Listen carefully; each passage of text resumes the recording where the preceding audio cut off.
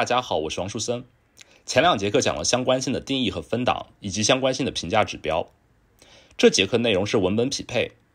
在深度学习成熟之前，搜索引擎主要靠文本匹配来判断相关性。搜索引擎的召回和排序都需要计算查询词与文档的相关性。召回结束之后，会做一个简单的排序，也叫做海选。有几万篇候选文档，需要计算它们与查询词的相关性。由于打分量很大，用到的模型必须足够快。比如用文本匹配分数作为特征，输入线性模型计算相关性分数，也可以用双塔 BERT 模型，推理代价不大。召回海选之后，有几千篇文档送入粗排，粗排可以用双塔 BERT，也可以用单塔 BERT，单塔 BERT 也叫交叉 BERT 模型。双塔的推理代价很小，准确性不高；单塔反过来，推理代价大，但是准确性很好。最后是金牌，只给几百篇文档打分。可以用较大的模型，业界通常用单塔 BERT 模型，可以是四层、六层或者十二层。这节课内容是文本匹配，这是计算相关性的传统方法，大家了解一下就好。在深度学习技术成熟之前，搜索引擎使用几十种人工设计的文本匹配分数，把它们当做特征输入线性模型或者树模型，模型预测相关性分数。这节课主要讲词匹配分数和词句分数，大家之前可能听说过。还有很多其他的文本匹配分数，比如类目匹配、核心词匹配，我就不展开讲了。二零二零年之后，BERT 在工业界越来越流行，用在搜索相关性上，效果远超文本匹配。搜索排序已经普遍放弃了文本匹配，换上了 BERT。目前也就文本召回还在使用文本匹配做海选，从几万篇文档中选出几千篇送入粗排。现在开始讲词匹配分数。主要是 TF-IDF 和 BM25 这两种词代模型。对于中文来说，想要计算词匹配分数，首先要分词，把查询词和文档都切成很多小字符串，每个小字符串是一个词，英文是 term。比如这个查询词“好莱坞电影推荐”，给它做分词，得到三个 term：好莱坞电影推荐，把它们记作集合大 Q。大 Q 中的 term 在文档 D 中出现次数越多。那么查询词与文档越可能相关。接下来要讲的 TF-IDF 和 BM25 都是基于这样的想法，看查询词和文档有多少匹配的 term。我先讲词频 term frequency，缩写是 TF。我们对查询词做分词，得到集合大 Q。例如 Q 包含好莱坞电影推荐这三个 term。我们每次只看其中一个 term，比如电影这个 term，把它记作小 t。term 在文档 D 中出现的次数就叫词频 term frequency，把它记作 TF 下标 TD。词频 TF 越大，说明 T 和 D 越可能相关。这个道理很显然，如果电影这个 term 在一篇文档中出现了二十次，这篇文档肯定跟电影有关。查询词 Q 中包含多个 term，在上面的例子中，查询词 Q 包含三个 term，分别是好莱坞电影推荐。我们可以计算每个 term 在文档中的词频，然后把词频都加起来。这一项是对所有 term 的词频关于 T 求和，得到的结果表示整条查询词 Q 与文档 D 的相关性。加和越大，则 Q 与 D 越可能相关。比方说，好莱坞和电影这两个 term 在某篇文档中出现了很多次，那么查询词好莱坞电影很可能跟这篇文档相关。词频 T 可以用于衡量查询词和文档的相关性，但是它有个缺陷，文档 D 越长，则 TF 越大。假如把文档重复两遍，得到新的文档 D prime，那么 TF 会变成原先的两倍。原因很显然，原先一个词 T 在文档中出现了十次，文档变长一倍，那么 T 在新的文档中出现了二十次。新的文档 D prime 和旧的文档 D 的信息量相同，只不过把 D 重复了一遍。因此，查询词和两个文档的相关性应该相等，而不该是两倍的关系。想要解决 TF 的这个缺陷，可以用文档 D 的长度对词频做归一化，把文档 D 的长度记作 L 下标 D。原先用这一项加和衡量查询词 Q 和文档 D 的相关性，把它改成这样，给 TF 加上分母做归一化，这样就消除了文档长度的影响。根据前面的讨论。我们用这一项衡量相关性，它对 TF 做了归一化，但它仍然有缺陷。它的加和是关于 term T 取的，它同等对待查询词中所有的 term。同等对待所有 term 有什么问题吗？当然有问题。查询词被切成了很多 term，每个 term 的重要性各不相同，不应该被同等对待。应该根据 term 的重要性设定权重，对词频做加权求和，而不是简单的等权求和。问题来了，求加权和的话，需要给每个 term 设定权重，权重该如何设定呢？最好的方法当然是语义重要性。我在搜索引擎链路的课，还有相关性标注的课上都讲过。用专业的术语，这个叫做 term weight，由查询词处理环节负责计算。在我们的例子中，电影的语义重要性最高，其次是好莱坞，最后是推荐。电影是核心词，好莱坞是重要限定词，推荐是不重要的词。照理说，应该给电影最高的权重，其次是好莱坞，推荐的权重最小。但语义重要性其实不容易判断。需要用到先进的深度学习技术才行。后面查询词处理的课会专门讲 term weight。在深度学习成熟之前，词匹配方法当然算不了 term weight。那有没有什么简单的办法来给 term 设定权重呢？办法当然是有的，那就是看整个数据库中有多少篇文档包含了 term t。好莱坞相对比较生僻，只出现在较少的文档中。电影是个高频词，在娱乐类目的文档中普遍出现。推荐就更高频了，在几乎所有类目的文档中都会出现。我们可以根据这个信息给 term 设定权重。一个 term 在越多的文档中出现，它的判别能力就越弱，给它设定的权重就越低。按照这种方法，权重最高的是好莱坞，其次是电影，权重最低的是推荐。刚才我们讨论了 term t 在多少文档中出现过，它有一个专门的名称，叫 document frequency。用 df 下标 t 表示，设整个数据集一共有 n 篇文档，那么 df 的大小介于零和 n 之间。如果一个 term 的 df 很大，说明这个 term 在很多文档中出现过，它的判别能力较弱。这个 term 不重要，应该给它设置较小的权重。这是几个极端的例子，像你的是这样的词，在 NLP 中叫做停用词 stop word，它们在几乎所有的文档中都出现。它们的 df 接近 n，既然在每一篇文档中都出现，说明它们的判别能力很弱。查询词和文档都包含的这个字，不能说明查询词和文档相关。既然停用词的 df 很大，判别能力很弱，它们的权重就应该设置的非常小。如果一个词只在少数的文档中出现过，这个词的判别能力通常很强。比如好莱坞、强化学习、王者荣耀，它们的 df 都很小。只有在密切相关的文档中才会出现，它们的判别能力很强。如果一篇文档中出现了王者荣耀，大概率这篇文档跟王者荣耀是相关的。对于这样 df 很小的词，应该设置很高的权重。Inverse Document Frequency 缩写为 IDF，这样定义：用 n 除以 df 这一项大于一，然后取 log 得到一个正数，它就是 Inverse Document Frequency。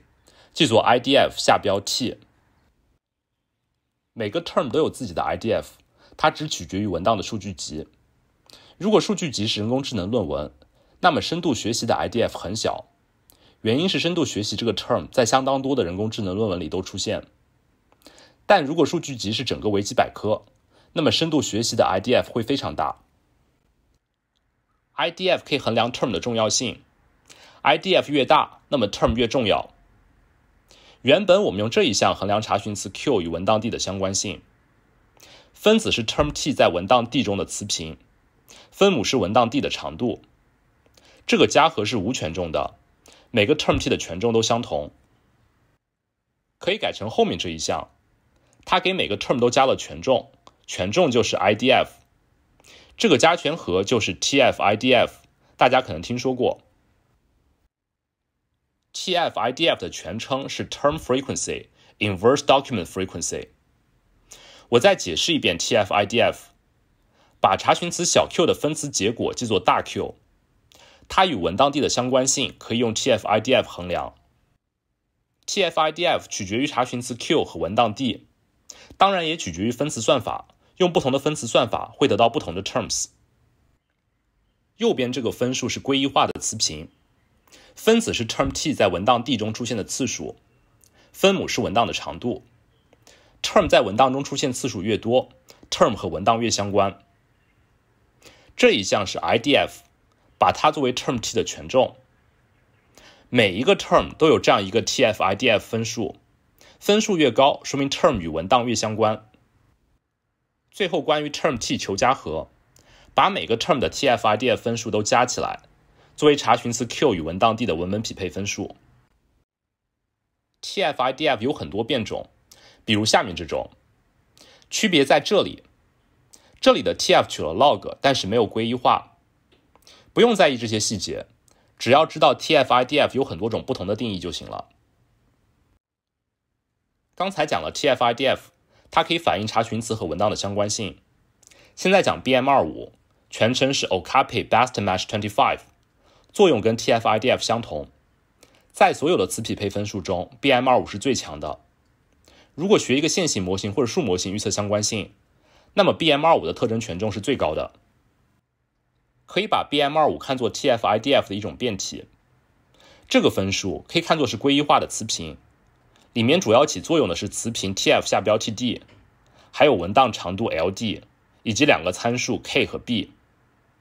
后面这一项跟 IDF 基本相同，term 在越多的文档中出现，这一项就越小。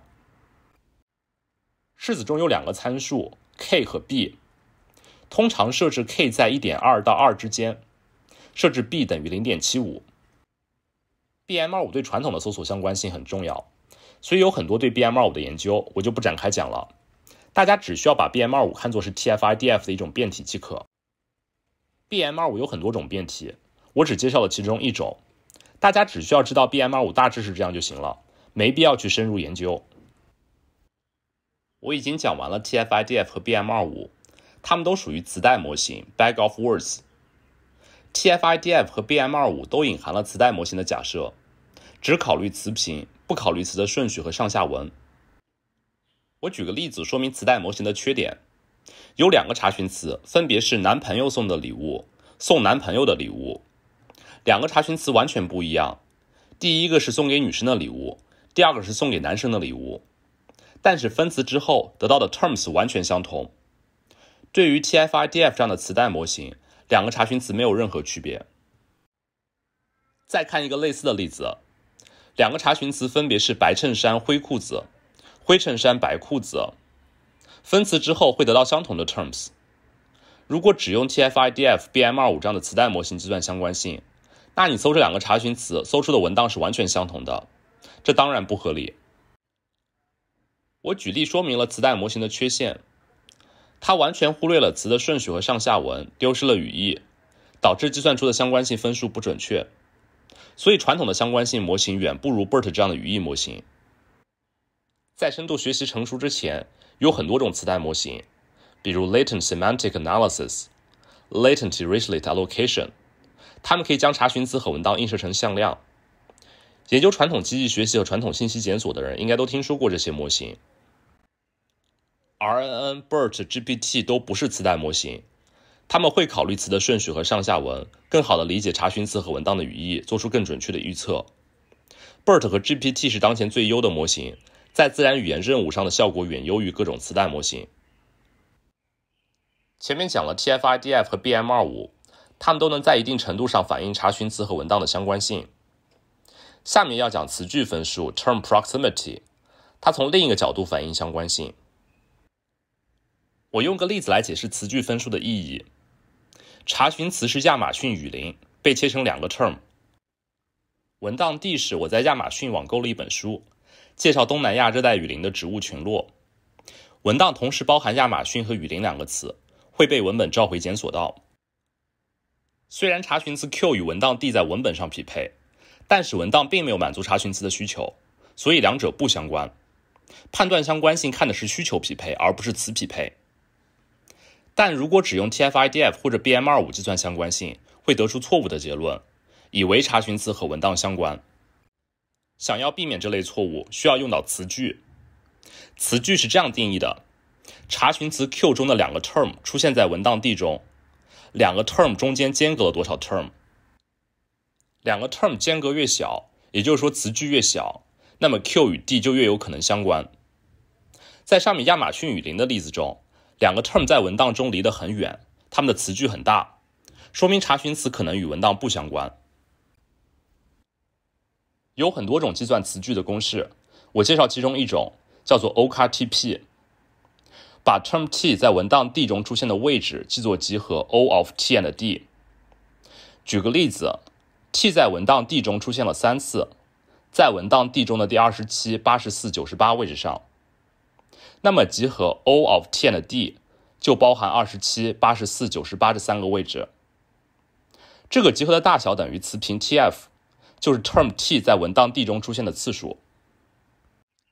设 t 和 t prime 是查询词 Q 中的两个 term，这两个 term 的词句分数是这样定义的：小 o 是 term t 出现在文档 D 中的一个位置，小 o prime 是 t prime 出现在文档 D 中的一个位置。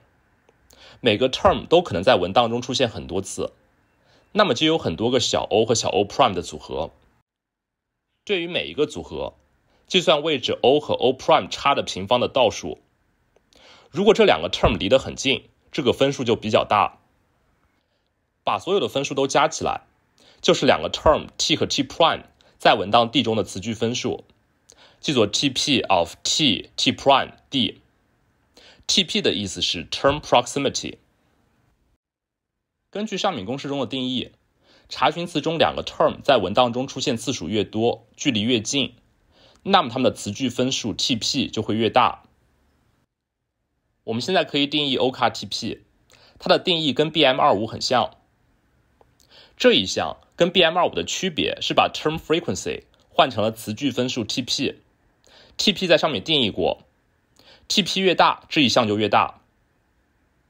再看这一项，两个 term 各有一个 IDF，取两者中较小的一项，对两个 term 的组合求加和，就得到了 OCA TP。